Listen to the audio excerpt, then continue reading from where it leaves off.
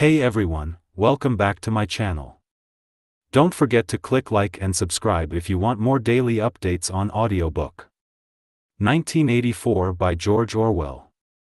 Her lips were deeply reddened, her cheeks rouged, her nose powdered, there was even a touch of something under the eyes to make them brighter.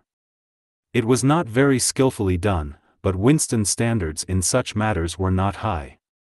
He had never before seen or imagined a woman of the party with cosmetics on her face. The improvement in her appearance was startling. With just a few dabs of color in the right places she had become not only very much prettier, but, above all, far more feminine. Her short hair and boyish overalls merely added to the effect. As he took her in his arms a wave of synthetic violets flooded his nostrils. He remembered the half-darkness of a basement kitchen, and a woman's cavernous mouth. It was the very same scent that she had used, but at the moment it did not seem to matter. Scent too, he said. Yes, dear, scent too. And do you know what I'm going to do next? I'm going to get hold of a real woman's frock from somewhere and wear it instead of these bloody trousers. I'll wear silk stockings and high-heeled shoes. In this room I'm going to be a woman, not a party comrade. They flung their clothes off and climbed into the huge mahogany bed. It was the first time that he had stripped himself naked in her presence. Until now he had been too much ashamed of his pale and meager body, with the varicose veins standing out on his calves and the discolored patch over his ankle. There were no sheets, but the blanket they lay on was threadbare and smooth, and the size and springiness of the bed astonished both of them. It's sure to be full of bugs, but who cares, said Julia. One never saw a double bed nowadays, except in the homes of the proles. Winston had occasionally slept in one in his boyhood, Julia had never been in one before, so far as she could remember. Presently they fell asleep for a little while. When Winston woke up the hands of the clock had crept round to nearly nine. He did not stir, because Julia was sleeping with her head in the crook of his arm. Most of her makeup had transferred itself to his own face or the bolster, but a light stain of rouge still brought out the beauty of her cheekbone. A yellow ray from the sinking sun fell across the foot of the bed and lighted up the fireplace, where the water in the pan was boiling fast. Down in the yard the woman had stopped singing, but the faint shouts of children floated in from the street. He wondered vaguely whether in the abolished past it had been a normal experience to lie in bed like this, in the cool of a summer evening, a man and a woman with no clothes on, making love when they chose, talking of what they chose, not feeling any compulsion to get up, simply lying there and listening to peaceful sounds outside. Surely there could never have been a time when that seemed ordinary. Julia woke up, rubbed her eyes, and raised herself on her elbow to look at the oil stove. Half that water's boiled away, she said. I'll get up and make some coffee in another moment. We've got an hour. What time do they cut the lights off at your flats? 23:30. It's 23 at the hostel.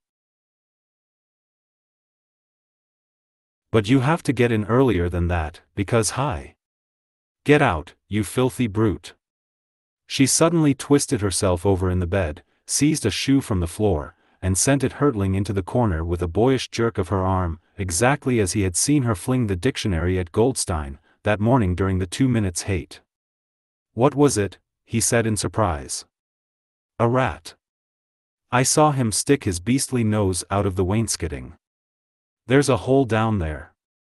I gave him a good fright, anyway. Rats, murmured Winston. In this room. They're all over the place, said Julia indifferently as she lay down again. We've even got them in the kitchen at the hostel. Some parts of London are swarming with them. Did you know they attack children? Yes, they do. In some of these streets a woman daren't leave a baby alone for two minutes. It's the great huge brown ones that do it. And the nasty thing is that the brutes always don't go on, said Winston, with his eyes tightly shut. Dearest. You've gone quite pale. What's the matter? Do they make you feel sick?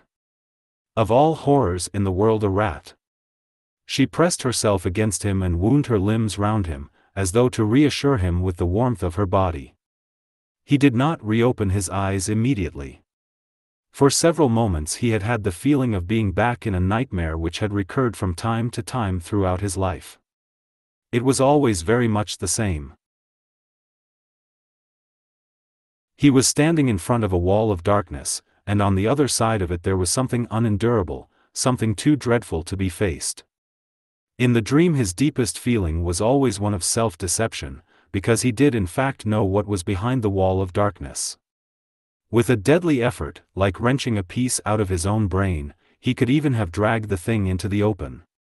He always woke up without discovering what it was, but somehow it was connected with what Julia had been saying when he cut her short. I'm sorry, he said, it's nothing. I don't like rats, that's all. Don't worry, dear, we're not going to have the filthy brutes in here. I'll stuff the hole with a bit of sacking before we go. And next time we come here I'll bring some plaster and bung it up properly. Already the black instant of panic was half forgotten. Feeling slightly ashamed of himself, he sat up against the bedhead. Julia got out of bed, pulled on her overalls, and made the coffee. The smell that rose from the saucepan was so powerful and exciting that they shut the window lest anybody outside should notice it and become inquisitive. What was even better than the taste of the coffee was the silky texture given to it by the sugar, a thing Winston had almost forgotten after years of saccharin. With one hand in her pocket and a piece of bread and jam in the other, Julia wandered about the room, glancing indifferently at the bookcase, pointing out the best way of repairing the gate leg table, plumping herself down in the ragged armchair to see if it was comfortable, and examining the absurd 12-hour clock with a sort of tolerant amusement. She brought the glass paperweight over to the bed to have a look at it in a better light. He took it out of her hand, fascinated, as always, by the soft, rainwatery appearance of the glass. What is it, do you think? said Julia. I don't think it's anything I mean, I don't think it was ever put to any use. That's what I like about it. It's a little chunk of history that they've forgotten to alter. It's a message from a hundred years ago, if one knew how to read it. And that picture over there, she nodded at the engraving on the opposite wall, would that be a hundred years old? More. Two hundred, I dare say. One can't tell. It's impossible to discover the age of anything nowadays. She went over to look at it. Here's where that brute stuck his nose out, she said, kicking the wainscoting immediately below the picture. What is this place? I've seen it before somewhere. It's a church, or at least it used to be. Saint Clement Danes its name was. The fragment of rhyme that Mr. Charrington had taught him came back into his head, and he added half nostalgically, oranges and lemons, say the bells of Saint Clement's. To his astonishment she capped the line, You owe me three farthings, say the bells of St. Martin's, when will you pay me? Say the bells of Old Bailey, I can't remember how it goes on after that. But anyway I remember it ends up, here comes a candle to light you to bed, here comes a chopper to chop off your head. It was like the two halves of a countersign. But there must be another line after the bells of Old Bailey. Perhaps it could be dug out of Mr. Charrington's memory, if he were suitably prompted. Who taught you that? he said. My grandfather. He used to say it to me when I was a little girl. He was vaporized when I was eight at any rate, he disappeared. I wonder what a lemon was, she added inconsequently. I've seen oranges. They're a kind of round yellow fruit with a thick skin. I can remember lemons, said Winston. They were quite common in the 50s. They were so sour that it set your teeth on edge even to smell them. I bet that picture's got bugs behind it, said Julia. I'll take it down and give it a good clean some day. I suppose it's almost time we were leaving. I must start washing this paint off. What a bore. I'll get the lipstick off your face afterwards. Winston did not get up for a few minutes more. The room was darkening. He turned over towards the light and lay gazing into the glass paperweight. The inexhaustibly interesting thing was not the fragment of coral but the interior of the glass itself.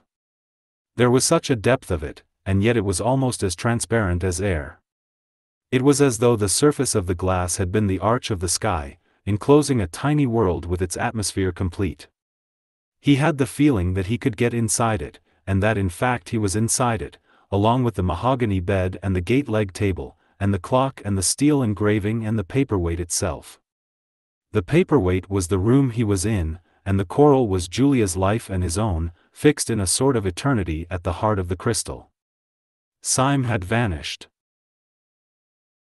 A morning came, and he was missing from work, a few thoughtless people commented on his absence.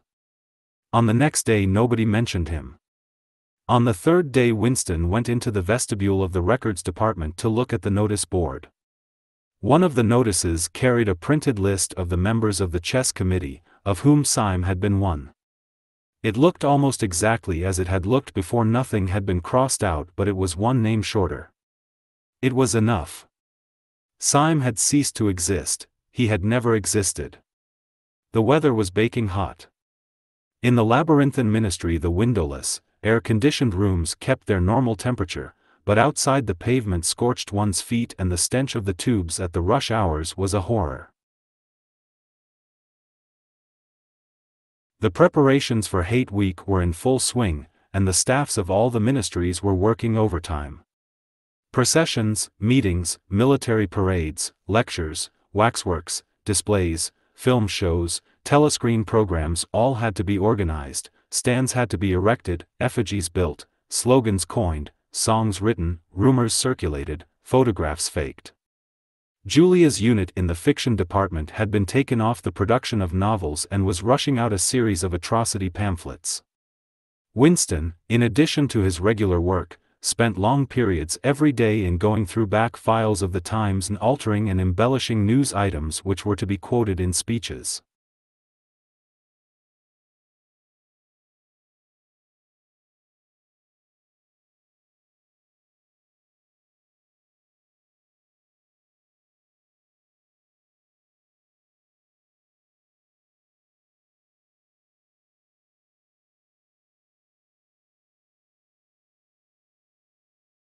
Late at night, when crowds of rowdy proles roamed the streets, the town had a curiously febrile air.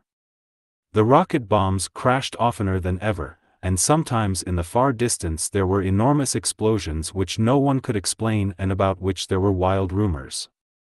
The new tune which was to be the theme song of Hate Week, the Hate Song, it was called, had already been composed and was being endlessly plugged on the telescreens. It had a savage, barking rhythm which could not exactly be called music, but resembled the beating of a drum. Roared out by hundreds of voices to the tramp of marching feet, it was terrifying. The proles had taken a fancy to it, and in the midnight streets it competed with the still popular, it was only a hopeless fancy. The Parsons' children played it at all hours of the night and day, unbearably, on a comb and a piece of toilet paper. Winston's evenings were fuller than ever. Squads of volunteers, organized by Parsons, were preparing the street for Hate Week, stitching banners, painting posters, erecting flagstaffs on the roofs, and perilously slinging wires across the street for the reception of streamers. Parsons boasted that Victory Mansions alone would display 400 meters of bunting. He was in his native element and as happy as a lark. The heat and the manual work had even given him a pretext for reverting to shorts and an open shirt in the evenings. He was everywhere at once, pushing, pulling, sawing, hammering, improvising, jollying everyone along with comradely exhortations and giving out from every fold of his body what seemed an inexhaustible supply of acrid-smelling sweat. A new poster had suddenly appeared all over London. It had no caption, and represented simply the monstrous figure of a Eurasian soldier, three or four meters high, striding forward with expressionless Mongolian face and enormous boots, a submachine gun pointed from his hip. From whatever angle you looked at the poster, the muzzle of the gun, magnified by the foreshortening, seemed to be pointed straight at you. The thing had been plastered on every blank space on every wall, even outnumbering the portraits of Big Brother. The proles, normally apathetic about the war, were being lashed into one of their periodical frenzies of patriotism. As though to harmonize with the general mood, the rocket bombs had been killing larger numbers of people than usual. One fell on a crowded film theater in Stepney, burying several hundred victims among the ruins. The whole population of the neighborhood turned out for a long, trailing funeral which went on for hours and was in effect an indignation meeting. Another bomb fell on a piece of waste ground which was used as a playground and several dozen children were blown to pieces. There were further angry demonstrations, Goldstein was burned in effigy, hundreds of copies of the poster of the Eurasian soldier were torn down and added to the flames, and a number of shops were looted in the turmoil, then a rumor flew round that spies were directing the rocket bombs by means of wireless waves, and an old couple who were suspected of being of foreign extraction had their house set on fire and perished of suffocation. In the room over Mr. Charrington's shop, when they could get there, Julia and Winston lay side by side on a stripped bed under the open window, naked for the sake of coolness. The rat had never come back, but the bugs had multiplied hideously in the heat. It did not seem to matter. Dirty or clean, the room was paradise. As soon as they arrived, they would sprinkle everything with pepper bought on the black market, tear off their clothes, and make love with sweating bodies, then fall asleep and wake to find that the bugs had rallied and were massing for the counter-attack. Four, five, six, seven times they met during the month of June. Winston had dropped his habit of drinking gin at all hours he seemed to have lost the need for it. He had grown fatter, his varicose ulcer had subsided, leaving only a brown stain on the skin above his ankle, his fits of coughing in the early morning had stopped. The process of life had ceased to be intolerable, he had no longer any impulse to make faces at the telescreen or shout curses at the top of his voice. Now that they had a secure hiding place, almost a home, it did not even seem a hardship that they could only meet infrequently and for a couple of hours at a time. What mattered was that the room over the junk shop should exist. To know that it was there, in Violet, was almost the same as being in it. The room was a world, a pocket of the past where extinct animals could walk. Mr. Charrington, thought Winston, was another extinct animal. He usually stopped to talk with Mr. Charrington for a few minutes on his way upstairs. The old man seemed seldom or never to go out of doors, and on the other hand to have almost no customers. He led a ghost-like existence between the tiny, dark shop, and an even tinier back kitchen where he prepared his meals and which contained, among other things, an unbelievably ancient gramophone with an enormous horn. He seemed glad of the opportunity to talk. Wandering about among his worthless stock, with his long nose and thick spectacles and his bowed shoulders in the velvet jacket, he had always vaguely the air of being a collector rather than a tradesman. With a sort of faded enthusiasm he would finger this scrap of rubbish or that a china bottle stopper, the painted lid of a broken snuff-box, a pinchbeck locket containing a strand of some long-dead baby's hair never asking that Winston should buy it, merely that he should admire it. To talk to him was like listening to the tinkling of a worn-out musical box. He had dragged out from the corners of his memory some more fragments of forgotten rhymes. There was one about four and twenty blackbirds, and another about a cow with a crumpled horn, and another about the death of poor Cock Robin. It just occurred to me you might be interested, he would say with a deprecating little laugh whenever he produced a new fragment but he could never recall more than a few lines of any one rhyme. Both of them knew in a way, it was never out of their minds that what was now happening could not last long. There were times when the fact of impending death seemed as palpable as the bed they lay on, and they would cling together with a sort of despairing sensuality, like a damned soul grasping at his last morsel of pleasure when the clock is within five minutes of striking. But there were also times when they had the illusion not only of safety but of permanence. So long as they were actually in this room, they both felt, no harm could come to them. Getting there was difficult and dangerous, but the room itself was sanctuary.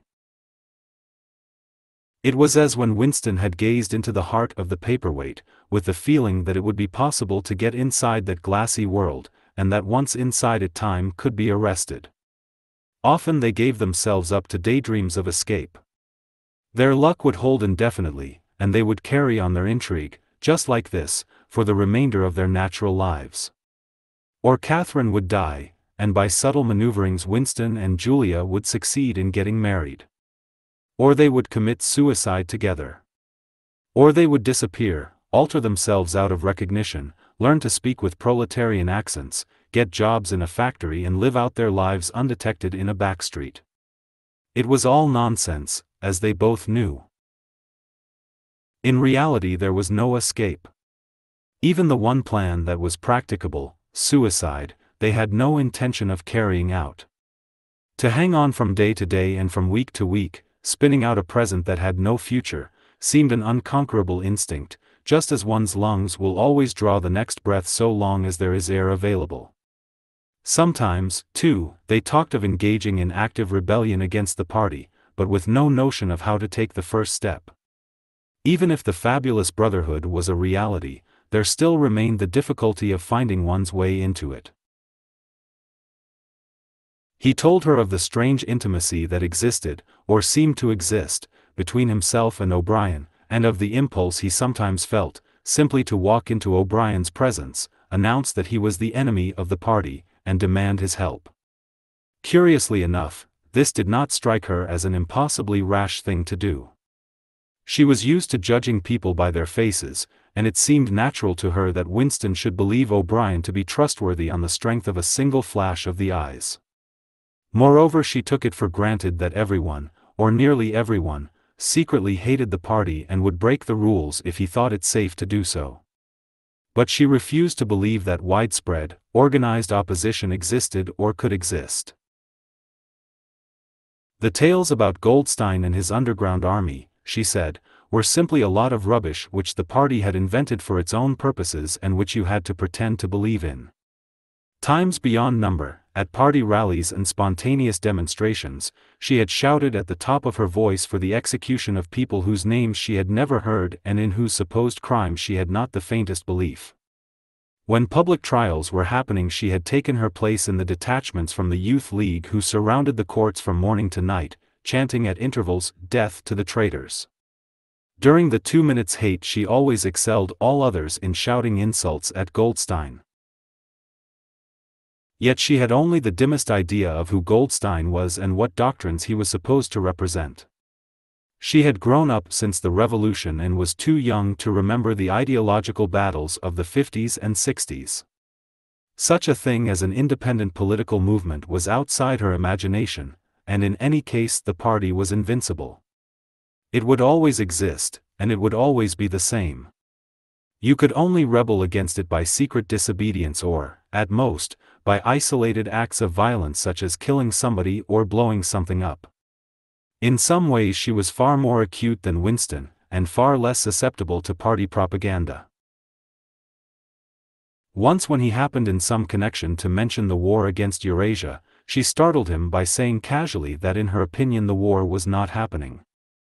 The rocket bombs which fell daily on London were probably fired by the government of Oceania itself, just to keep people frightened. This was an idea that had literally never occurred to him. She also stirred a sort of envy in him by telling him that during the two minutes hate her great difficulty was to avoid bursting out laughing. But she only questioned the teachings of the party when they in some way touched upon her own life.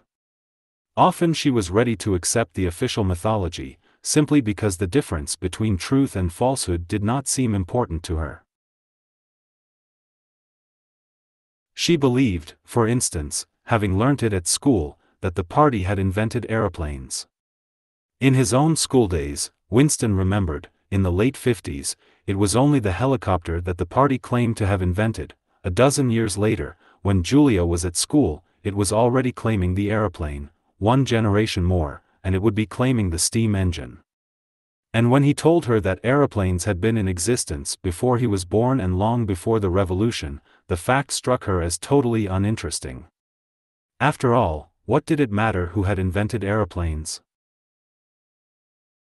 It was rather more of a shock to him when he discovered from some chance remark that she did not remember that Oceania, four years ago, had been at war with Eastasia and at peace with Eurasia. It was true that she regarded the whole war as a sham, but apparently she had not even noticed that the name of the enemy had changed. I thought we'd always been at war with Eurasia, she said vaguely. It frightened him a little. The invention of aeroplanes dated from long before her birth, but the switchover in the war had happened only four years ago, well after she was grown up. He argued with her about it for perhaps a quarter of an hour. In the end he succeeded in forcing her memory back until she did dimly recall that at one time Eastasia and not Eurasia had been the enemy. But the issue still struck her as unimportant. Who cares, she said impatiently. It's always one bloody war after another, and one knows the news is all lies anyway. Sometimes he talked to her of the records department and the impudent forgeries that he committed there. Such things did not appear to horrify her. She did not feel the abyss opening beneath her feet at the thought of lies becoming truths. He told her the story of Jones, Aronson, and Rutherford and the momentous slip of paper which he had once held between his fingers. It did not make much impression on her. At first, indeed, she failed to grasp the point of the story. Were they friends of yours? she said.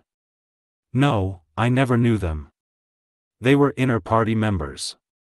Besides, they were far older men than I was. They belonged to the old days, before the revolution. I barely knew them by sight.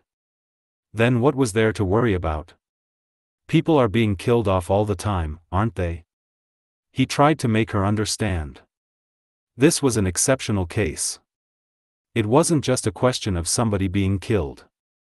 Do you realize that the past, starting from yesterday, has been actually abolished? If it survives anywhere, it's in a few solid objects with no words attached to them, like that lump of glass there. Already we know almost literally nothing about the revolution and the years before the revolution. Every record has been destroyed or falsified, every book has been rewritten, every picture has been repainted, every statue and street and building has been renamed, every date has been altered. And that process is continuing day by day and minute by minute. History has stopped. Nothing exists except an endless present in which the party is always right. I know, of course, that the past is falsified, but it would never be possible for me to prove it, even when I did the falsification myself.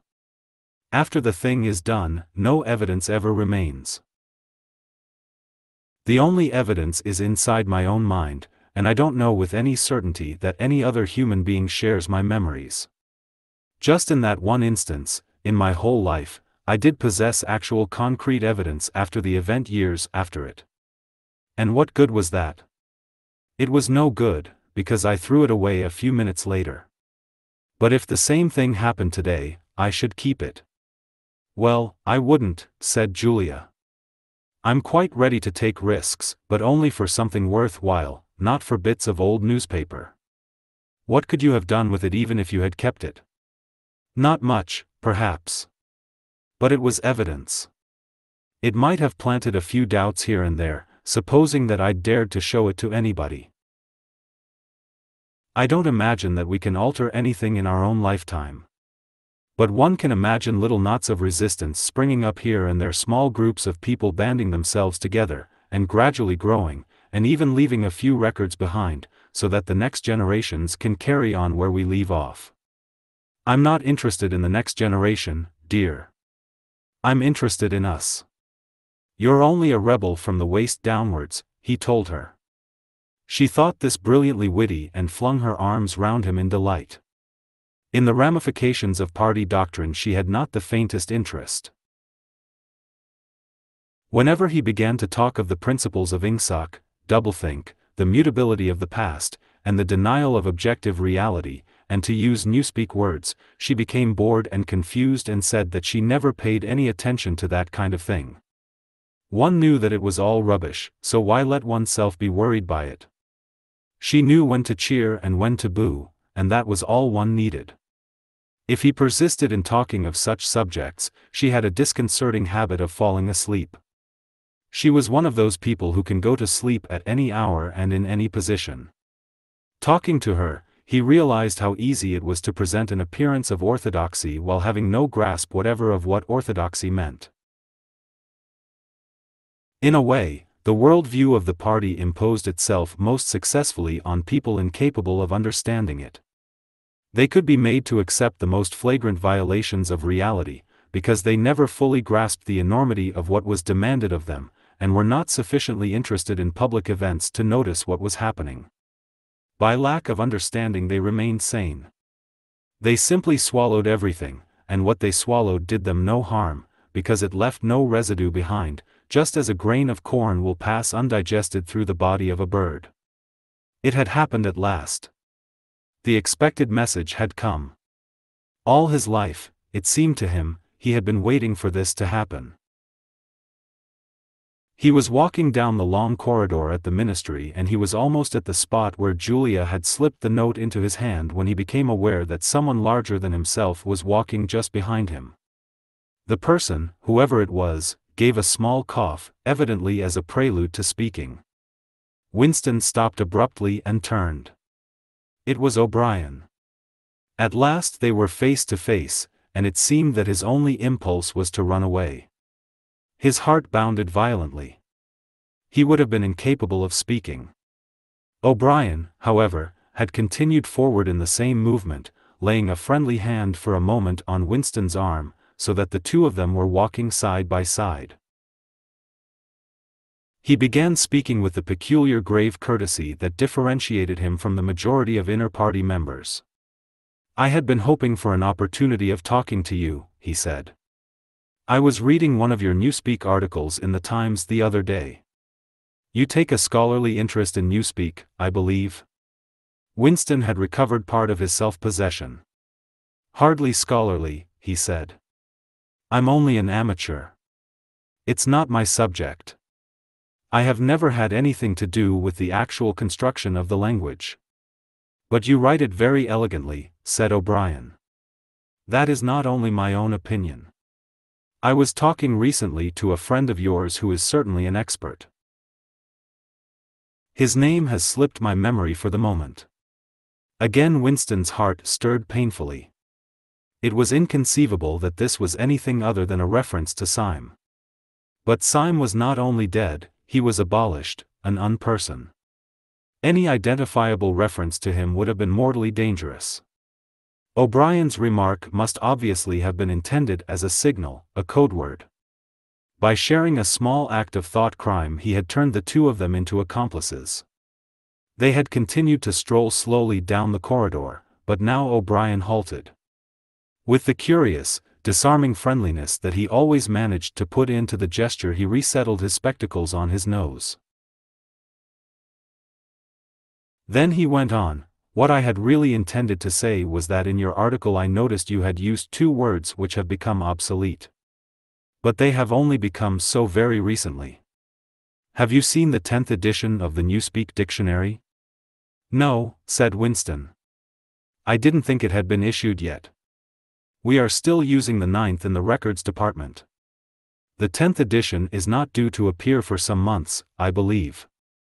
But a few advance copies have been circulated. I have one myself. It might interest you to look at it, perhaps? Very much so, said Winston, immediately seeing where this tended. Some of the new developments are most ingenious. The reduction in the number of verbs that is the point that will appeal to you, I think. Let me see, shall I send a messenger to you with the dictionary? But I am afraid I invariably forget anything of that kind. Perhaps you could pick it up at my flat at some time that suited you? Wait. Let me give you my address. They were standing in front of a telescreen. Somewhat absent-mindedly O'Brien felt two of his pockets and then produced a small leather-covered notebook and a gold ink pencil. Immediately beneath the telescreen, in such a position that anyone who was watching at the other end of the instrument could read what he was writing, he scribbled an address, tore out the page and handed it to Winston. I am usually at home in the evenings, he said. If not, my servant will give you the dictionary. He was gone, leaving Winston holding the scrap of paper, which this time there was no need to conceal. Nevertheless, he carefully memorized what was written on it, and some hours later dropped it into the memory hole along with a mass of other papers. They had been talking to one another for a couple of minutes at the most. There was only one meaning that the episode could possibly have. It had been contrived as a way of letting Winston know O'Brien's address. This was necessary, because except by direct inquiry it was never possible to discover where anyone lived. There were no directories of any kind. If you ever want to see me, this is where I can be found, was what O'Brien had been saying to him. Perhaps there would even be a message concealed somewhere in the dictionary. But at any rate, one thing was certain. The conspiracy that he had dreamed of did exist, and he had reached the outer edges of it. He knew that sooner or later he would obey O'Brien's summons.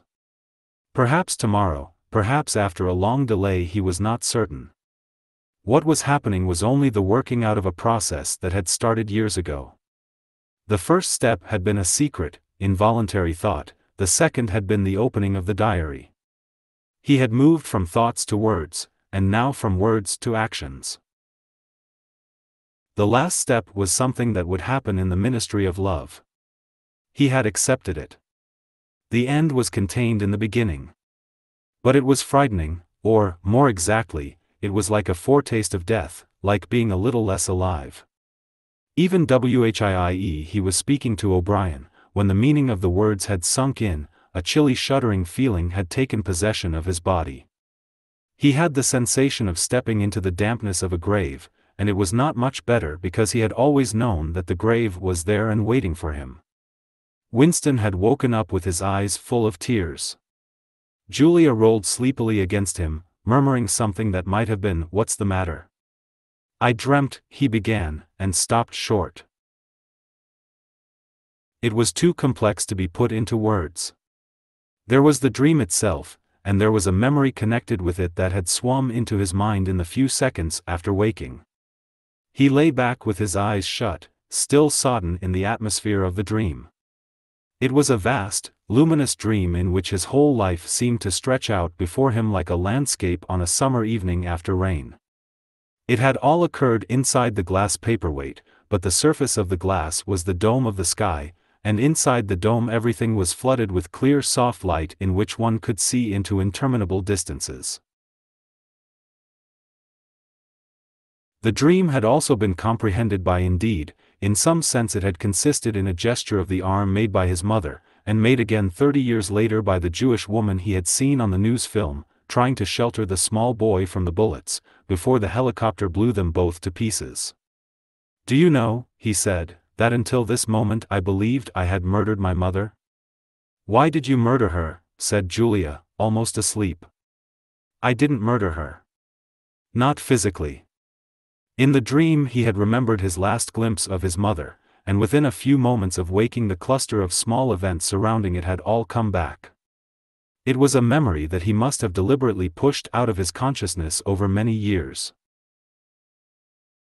He was not certain of the date, but he could not have been less than ten years old, possibly twelve, when it had happened. His father had disappeared some time earlier, how much earlier he could not remember. He remembered better the rackety, uneasy circumstances of the time, the periodical panics about air raids and the sheltering in tube stations, the piles of rubble everywhere, the unintelligible proclamations posted at street corners, the gangs of youths in shirts all the same color, the enormous queues outside the bakeries, the intermittent machine gun fire in the distance above all, the fact that there was never enough to eat. He remembered long afternoons spent with other boys in scrounging round dustbins and rubbish heaps, picking out the ribs of cabbage leaves, potato peelings, sometimes even scraps of stale bread crust from which they carefully scraped away the cinders, and also in waiting for the passing of trucks which traveled over a certain route and were known to carry cattle feed, and which, when they jolted over the bad patches in the road, sometimes spilt a few fragments of oil cake. When his father disappeared, his mother did not show any surprise or any violent grief, but a sudden change came over her. She seemed to have become completely spiritless. It was evident even to Winston that she was waiting for something that she knew must happen.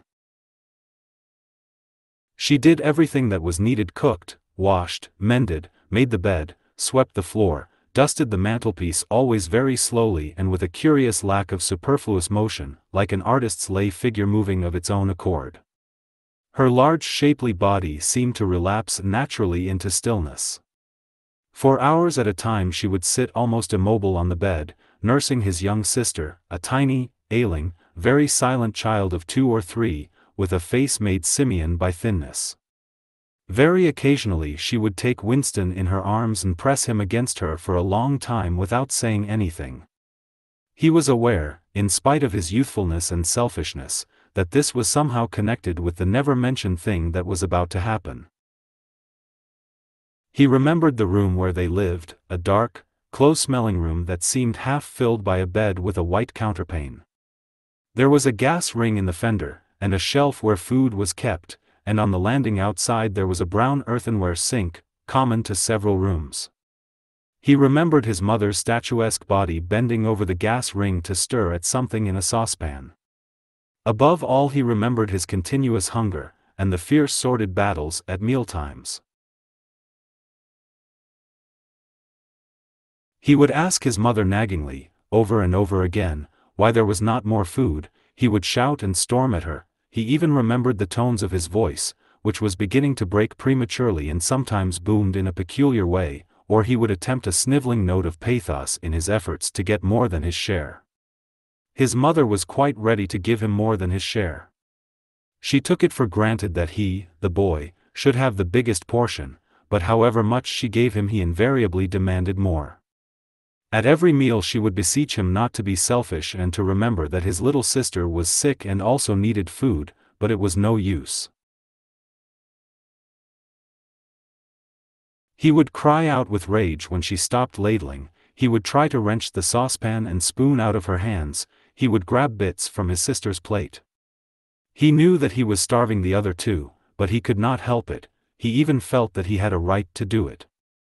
The clamorous hunger in his belly seemed to justify him. Between meals, if his mother did not stand guard, he was constantly pilfering at the wretched store of food on the shelf. One day a chocolate ration was issued. There had been no such issue for weeks or months past. He remembered quite clearly that precious little morsel of chocolate. It was a two-ounce slab, they still talked about ounces in those days, between the three of them.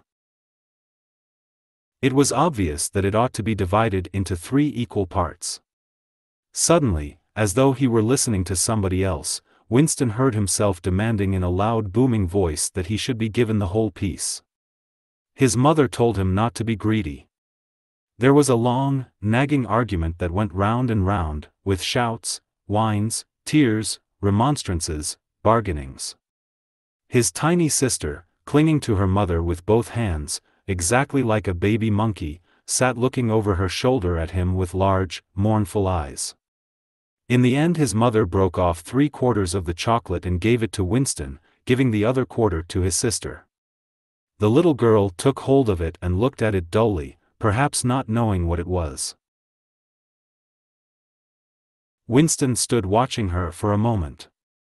Then with a sudden swift spring he had snatched the piece of chocolate out of his sister's hand and was fleeing for the door. Winston, Winston, his mother called after him. Come back.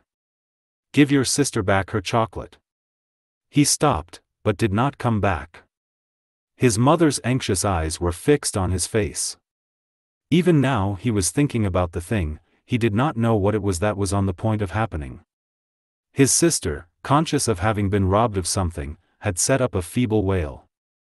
His mother drew her arm round the child and pressed its face against her breast. Something in the gesture told him that his sister was dying. He turned and fled down the stairs. with the chocolate growing sticky in his hand. He never saw his mother again. After he had devoured the chocolate he felt somewhat ashamed of himself and hung about in the streets for several hours, until hunger drove him home. When he came back his mother had disappeared. This was already becoming normal at that time. Nothing was gone from the room except his mother and his sister. They had not taken any clothes, not even his mother's overcoat. To this day he did not know with any certainty that his mother was dead. It was perfectly possible that she had merely been sent to forced labor camp.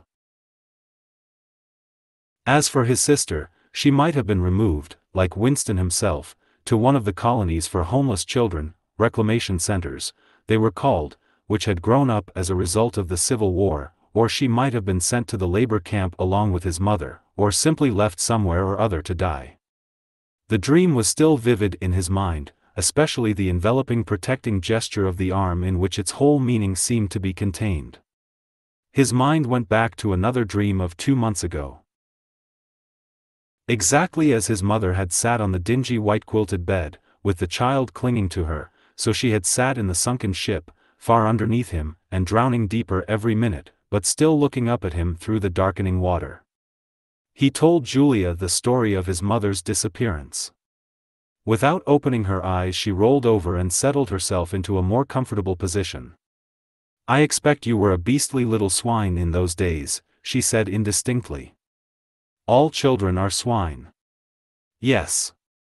But the real point of the story, from her breathing it was evident that she was going off to sleep again. He would have liked to continue talking about his mother. He did not suppose, from what he could remember of her, that she had been an unusual woman, still less an intelligent one, and yet she had possessed a kind of nobility, a kind of purity, simply because the standards that she obeyed were private ones. Her feelings were her own, and could not be altered from outside.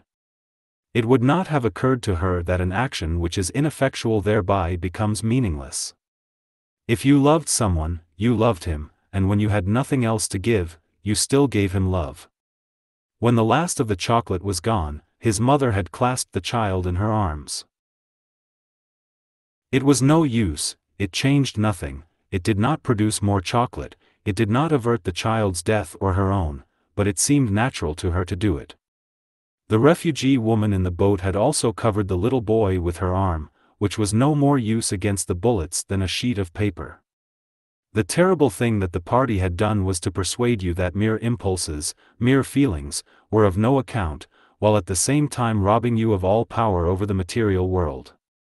When once you were in the grip of the party, what you felt or did not feel, what you did or refrained from doing, made literally no difference. Whatever happened you vanished, and neither you nor your actions were ever heard of again. You were lifted clean out of the stream of history. And yet to the people of only two generations ago this would not have seemed all important, because they were not attempting to alter history. They were governed by private loyalties which they did not question. What mattered were individual relationships, and a completely helpless gesture, an embrace, a tear, a word spoken to a dying man, could have value in itself. The proles, it suddenly occurred to him, had remained in this condition. They were not loyal to a party or a country or an idea, they were loyal to one another. For the first time in his life he did not despise the proles or think of them merely as an inert force which would one day spring to life and regenerate the world. The proles had stayed human.